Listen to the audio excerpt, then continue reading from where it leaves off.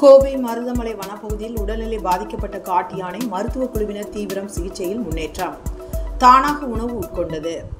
கோவை வனசரகம் தடாகம் பிரிவு மருதமலை அடிவார சரக பகுதியில் வனத்துறை பணியாளர்கள் ரோந்து பணியின் போது யானை பிளிரும் சத்தம் கேட்டு அந்த பகுதிக்கு சென்று ஆய்வு செய்தனர். அப்போது பெண் யானை ஒன்று குட்டியுடன் இருப்பது கண்டுபிடிக்கப்பட்டது.